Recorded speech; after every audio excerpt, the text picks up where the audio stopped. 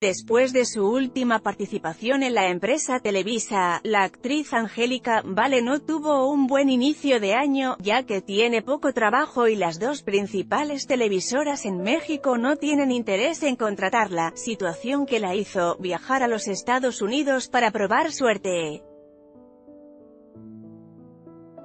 Un video de HR Nota refirió que, a inicios de 2018, la empresa Televisa anunció el regreso de Angélica Vale a la pantalla chica mexicana, momento en el que le ofrecieron protagonizar la telenovela Y Mañana será otro día.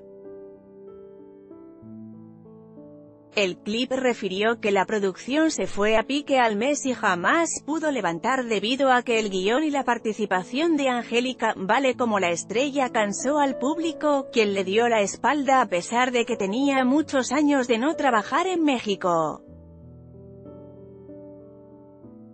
HR Notas aseguró que Angélica Vale se las ve negras para encontrar una oportunidad en televisión, pues en Televisa los ejecutivos no quieren arriesgarse con su persona al estar presionados con el tema de la audiencia.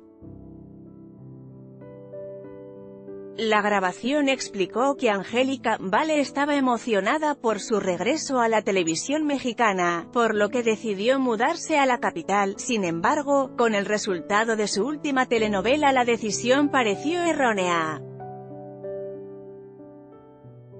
A seis meses del fiasco con la telenovela, Angélica Vale buscó chamba en el teatro, participando en puestas en escena sin ser permanentes por lo que la estrella se vio obligada a hacer sus maletas y regresar a Estados Unidos. HR Nota reveló que TV Azteca buscó a Angélica Vale para conducir un programa de variedades que la artista despreció por estar en Televisa y tras dicha decisión en el Ajusco ya ni la miran como un prospecto. El video subrayó que Angélica Vale mantiene la esperanza de encontrar a un productor que le dé una oportunidad en televisión. Mientras eso ocurre ella permanece en su hogar como ama de casa. Fotografía, YouTube con información de HR Notas Anímate a comentar.